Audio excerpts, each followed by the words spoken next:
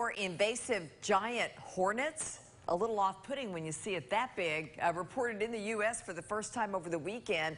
Researchers have named this the murder hornet. A number of people in our area posting on Facebook wondering if insects they found are the hornet in the headlines. Viewer Benny Nelson from Oliver Springs sending us this picture.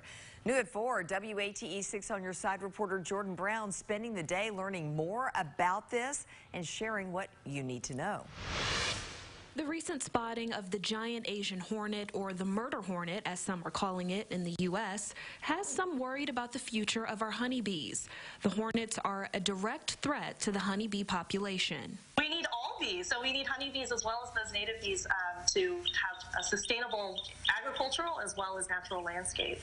Assistant Professor of Entomology and Plant Pathology at UT, Jennifer Tsuruda, says the hornets were first spotted in Washington state late last year.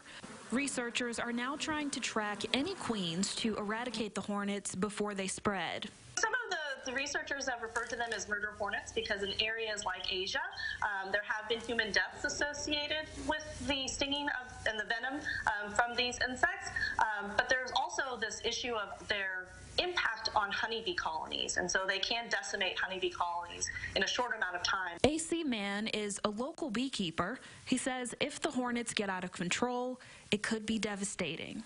Uh, it's a major part of our uh, food chain. If we don't have honeybees, we're not going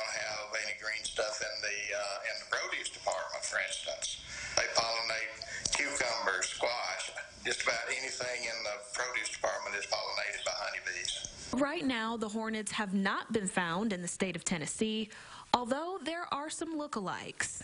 Other stinging insects, including hornets that are mistaken for the Asian giant hornet. One of the most common is the European hornet. Um, so we want to make sure that people recognize the differences between these two before they start making claims um, that they have these giant Asian hornets in their areas.